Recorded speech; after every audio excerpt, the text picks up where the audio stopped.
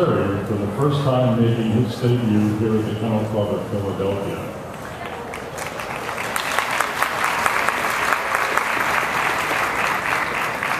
The Russell Terrier dates back to England in the 1800s, although he was developed actually in Australia.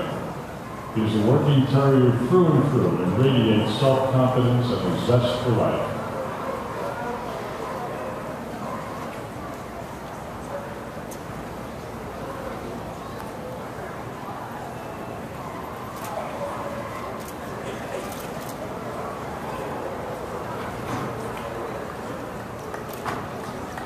The newest member of the AKC family, Russell Terrier.